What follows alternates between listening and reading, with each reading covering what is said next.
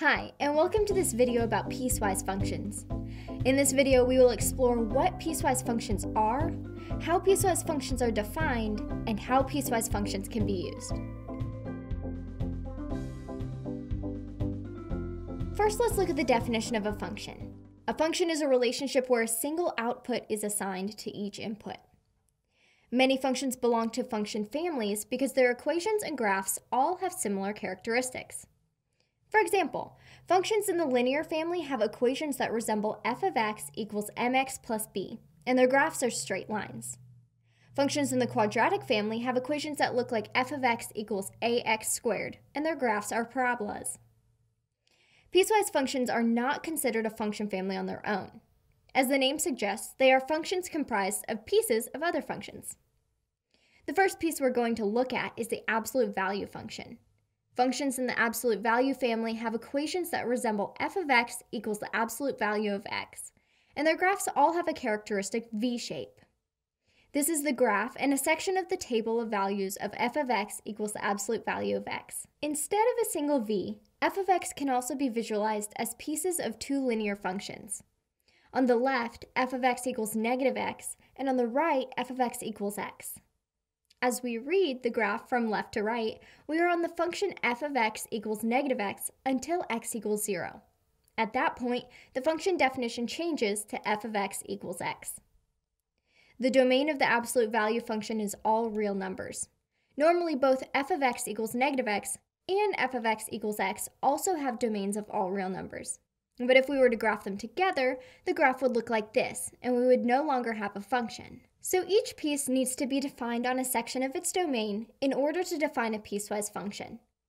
If the left function is only defined for negative x values, and the right is only defined for positive x values, and we put a zero into one of them, more on that in a minute, we can define this as a single piecewise function. One way to visualize this is to graph both linear functions and then erase the sections that are not part of the absolute value function. Let's take a quick break and practice describing a couple of piecewise functions in terms of what their pieces look like and where those pieces are defined. First up is the greatest integer function, f of x equals the floor of x. This is called the floor function or stair-step function. This function is made up of pieces of constant functions that are one unit wide. Next, we have the sawtooth function, f of x equals x minus the floor of x. This function is also called the castle rim function. And this function is made up of pieces of parallel linear functions that are one unit long. The format for defining piecewise functions has this general form. There are two criteria for naming piecewise functions. One, reading the pieces from top to bottom in the list corresponds to reading the graph from left to right. So the first piece in the list is the left piece on the graph. And two, the domains of the pieces must add up to the domain of the entire function. Let's start by rewriting our absolute value function in this form. Here's the list of expressions that define each piece from left to right. f of x is equal to the subset of negative x, which is an unknown quantity, and x, which is also an unknown quantity. Now let's take a minute to consider the domain of each piece f of x equals the absolute value of x has a domain of all real numbers. We can input any number we want and get out a single output. But we have to be careful with our piecewise definition when we consider x equals 0. Why? Because 0 is a defined point on both pieces, but we only need to include it once. If we write the function like this, f of x is equal to the subset of negative x when x is less than 0, and x when x is greater than 0. Then neither piece includes 0 and the domain is incomplete. If we write it like this, f of x is equal to negative x when x is less than or equal to 0, and x when x is greater than or equal to 0. Then we are not defining a function, because we're saying that f of x equals both negative x and x at x equals 0, even though the output would technically be the same in this case. Since 0 is in the domain of both pieces, we simply choose which piece to put it in. Both of these equations correctly define the function. All of our examples so far have depicted piecewise functions with domains of all real numbers. The pieces do not need to connect and they do not need to extend to plus or minus infinity. Take a look at this function and try to define it with an equation. And yes, that single point is a part of it.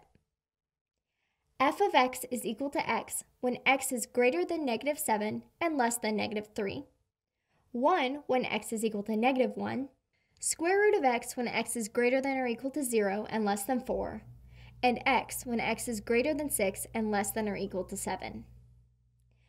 Like other functions, piecewise functions can be used to tell stories. This is the story of a car journey Bob took last week.